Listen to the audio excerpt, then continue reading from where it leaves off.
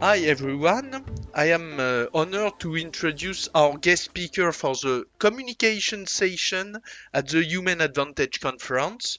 Today I am with my uh, colleague Richard Chataway, who is the CEO of BVNH Consulting UK, the author of a wonderful book, The Behavior Business, and also one of the BVA family champion for communication. And now we are joined by Professor Jonah Berger, marketing professor at the Wharton School at the University of Pennsylvania, and internationally best-selling author of three books that I have loved personally, Contagious, Invisible Influence, and The Catalyst. Dr. Berger is a world-renowned expert on change, word of mouth, influence, consumer behavior, and how product, ideas, and behavior catch on. He has published, I think, over 50 articles in top tier academic journals, teach Wharton's highest rated online course, and popular outlets like the New York Times and Harvard Business Review often uh, cover his work. So a lot. He's keynoted hundreds of events, including our events, and often consults for organizations like Google, Apple, Nike, and the Gates Foundation. So welcome, Jonah, to the Human Advantage Conference. Hi, Jonah. Thanks uh, for joining us, and it's a great pleasure to, to have you here today. Um, first of all, I guess I wanted to ask uh, you about uh, why things catch on or, or go viral. Um, I guess it's something that all of us who work in communications are, are, a bit obsessed with, and we all want to achieve, but but very rarely do. Um, in your in your book Contagious, which like Eric I, I thought was brilliant, um, you you outline six principles that uh, that make things become popular. Um, I guess since 2013 and the book came out, there's been a kind of explosion in available channels uh, for us in communications, especially in social media. Uh, I guess how uh, could you tell us how that's changed or shaped your thinking on, on how things become popular? Yeah, you know, I think um, when the book came out, uh, people often ask me, "Oh, why didn't you write all the most recent examples of why things went viral?" So there was a, you know, there was a New York Times review, I think, that said, "Oh, he doesn't talk about the Harlem Shake or whatever it is." Um, and my goal in writing the book wasn't actually to talk about the most recent examples uh, of things that caught on, went viral, or got word of mouth. My goal was to outline a framework of what drives people to talk uh, and share. Um, and I think my favorite books are the books that 5, 10, 15 years later, even after they come out, are equally good uh, as when they came out initially. Um, and timeless examples actually are a lot more important than uh, most recent examples because while an example may be recent, uh, 10 years later, it's not going to be. And so, um, you know, I think the good news is uh, because the because contagious is about why people share, not what they share um, many of those reasons haven't changed. You know, the psychology of why we talk about things, why we share things, why we pass them on with friends, you know, that's not new. I didn't invent that, right? That's been happening for thousands of, of years. Um, uh, you know, cavemen and women shared things with one another. Um, uh, you know, hundreds of years ago, people shared things with one another. And so the motivations to look good, uh, to share things that are top of mind, um, you know, the fact that emotions drive sharing, all of that is, is ancient and not new. Um, and so, even though the channels we change have changed that we share things through, the motivations have not. Um, and so, I think much has stayed the same. What I will say is on the margin, there there have been some changes or, or shifts, right? So, um, if you look, there's certainly been more of a shift online. So, most word of mouth is offline. Um, you know, when I wrote the book, only about seven to ten percent of all word of mouth uh, is online.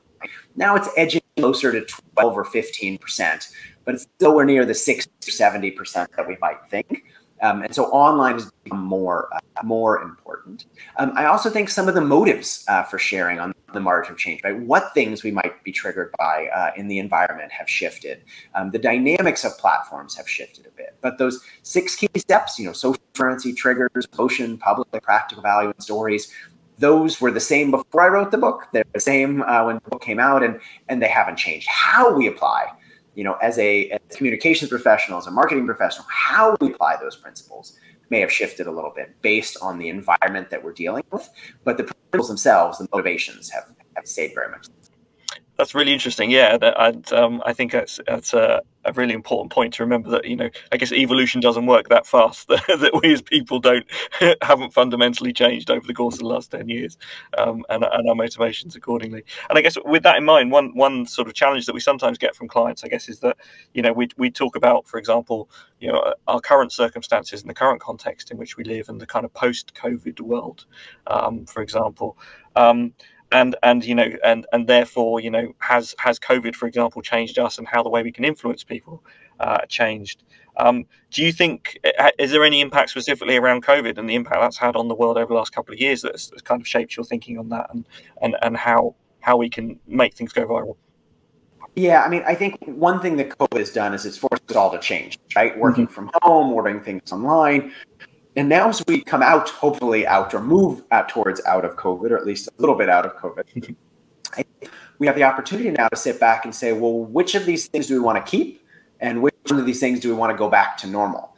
Um, uh, you know, um, I think many companies said, "Oh, we'll work from home uh, because we have to," and now some companies said, "Oh, we need to be back in the office because we have to." But why do we have to? It's actually the best way for people to work for some jobs and some parts of some jobs. Certainly, it's definitely the best place. For other parts of other jobs, it may not be the best place. For some jobs, being back in the office may have no value, and it may actually be better for the company to allow people to work remotely because you can get a better workforce and they're happier and they can spend more time because they don't have to have an hour and a half commute each way. And so I think what smart companies are doing is not thinking about what they have to do, but the opportunities that COVID have provided uh, us, um, the learnings we can gain from these shifts in consumer and customer behavior, and what we should do as a result. Same with um, you know digital marketing. Same with um, you know selling people online rather than physical stores. What are stores good for? Should we get rid of stores? No, but do we need stores? Right? What do stores add above and beyond digital? What are they good at? What are they not good at? And how can we use that to be more effective? And I think that's what smart companies are doing. Mm it's really interesting because I think um, if you think of, um, I guess you know, we uh, there's been a lot of talk and certainly clients that we speak to about um, digital transformation, and we help them with a lot of challenges around that. And and what's been interesting, I guess, uh, our experience with that in COVID is that, that it's just accelerated existing trends. I guess if you see what I mean. Um, and I guess you know it, it, it kind of works both ways, doesn't it? Because obviously we're seeing companies like Amazon are opening physical stores um, and, and, moving it back into that world. So it's it's it's it's um uh it, it, you know it's not necessarily one way um one way traffic in in that sense. Um, yeah, and I think smart companies think about well, do I have a store? What is a store for? Digital is important. Yes. Mm-hmm. And maybe Jonah, uh, um, you mentioned that things have not evolved so rapidly since the launch of uh, Contagious. Uh, so, could you, for our uh, audience, summarize your famous acronym steps? How to uh, really be successful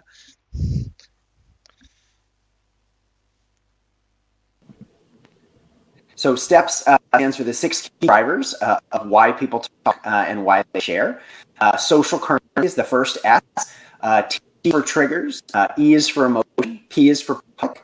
The second P is practical value, uh, and the second S is stories. Um, and those six key drivers of why people talk, why they share, and all sorts of things to catch on. Products, services to ideas. It's not random luck chance why something succeed, others fail. The more we understand the science behind mouth and social transmission, we can engineer products and services uh, and ideas to be more successful. Okay, thanks a lot. Good and rapid summary, and for sure, uh, we encourage our audience to read the book to know more. You have also a wonderful example which illustrates how to use each of these uh, drivers. Oh yeah, sure. Definitely, you know, check out my website. There's a whole bunch of resources there with more information about the principles and uh, how to apply them. Brilliant. Um, I was I wanted to uh, to ask you as well, I guess, about your your most recent book, uh, The Catalyst, and um, and there obviously you outline five factors that impede change and, and how to mitigate them. And I guess relevant to what you, for example, you just gave about you know those businesses, how businesses are adapting the post-COVID world and remote working versus versus being back in the office. Um, I guess you know it, um, it would be great to hear your perspectives on that in terms of um, how that that um, those factors I guess apply in that in that uh, scenario. Um, you know, what are what are the things that are impeding those changes that you mentioned? That the, the the ability for us to make those changes that are necessary in the in the post COVID world. You know, it, has been an interesting time to be writing about and thinking about change. Uh, mm. Obviously, we were dealing with an immense amount of change even before COVID. As you talked about digital transformation and the like, and um, uh, you know, I, I wrote the Catalyst in part because of having worked with various companies and organizations they all had the same problem, which is they all had something they wanted to change. Right, the marketers and the salespeople wanted to change customer minds. Uh, leaders wanted to transform organizations. Startups wanted to change industries. Nonprofits wanted to change the world. But as we all know, change is really hard. Right, often we push, we pressure, we cajole, and nothing happens. Uh, so the question I sort of wondered is, could there be a better way? Could there be a better way to change minds and drive action, not pushing, but by do something else? And that's what the catalyst is all about. It's a different approach to change. It's really about thinking about why people change why they don't, and how by removing barriers can we change more more likely. Um, and so it's been a lot of fun working with different companies around this time, uh, both in COVID related things and otherwise, uh, and think about how to remove barriers to change. Great, and I think uh, one of the things that uh, that I think um, uh, that, that our, our audience would be really interested to hear, I guess, in your perspective on is is that in terms of those hurdles to change and removing those barriers, which I guess is you know is a is a really um, important part of everything we do in behavioral science. You know, I guess you know the, the, the whole concept of making it easy is about removing removing hurdles to change, isn't it? Um, which of the, those hurdles do you think marketers most commonly fall foul of, and and why do you think that is? Um, you know, I think in marketers in particular, um, mm-hmm. so uh, the Catalyst has a framework called the Reduce framework. Marketers tend to most prey to the R, which is uh, reactance, right? Um, when we push people, they often push back. They often do the exact opposite of what we want them to do. Uh, when ad comes on the television, we switch the channel. When uh, you know an email comes in from a marketer that we're not expecting, we delete it. Um, uh, you know, we avoid or ignore persuasion attempts to avoid being persuaded. Even worse, we counter argue we think about all the reasons why what someone is suggesting is not something we want to do. And so I think marketers' intuition is, well, let's push people more, right? Let's add more facts, more figures, more reasons, more information. If I just show them one more ad, they'll come around. And the problem is that doesn't work, right? Uh, because the more we push them, the more they dig their heels in and, and resist. And so really at the core, what we need to do is give them back some agency, allow for agency. We need to stop trying to persuade them and encourage them to persuade themselves we you stop trying to sell so much and, and get them to buy in. And so in the book, I talk about a variety of ways uh, to do this, from asking rather than telling, um, from uh, you know providing a menu or giving people choice, highlighting a gap between attitudes and actions. A variety of strategies sort of give them back some sense of control or freedom. The more they feel like they're in the driver's seat, the more interested they'll be in, in helping us out.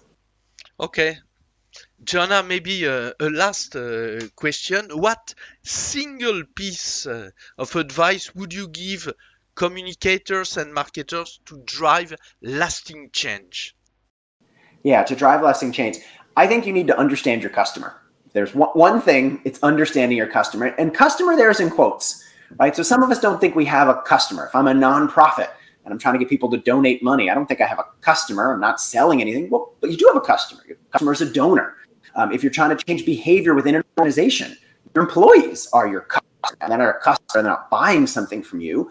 But if you don't understand them and how they work and why they're not doing what you want them to do in the first place, it's going to be really hard to get them to change. And so it's it's not about um, uh, marketing. It's not about communication. It's about understanding that person or people that you're trying to change or organization that you're trying to change, and using that to help make change more more likely. Okay. Thanks a lot. Bye.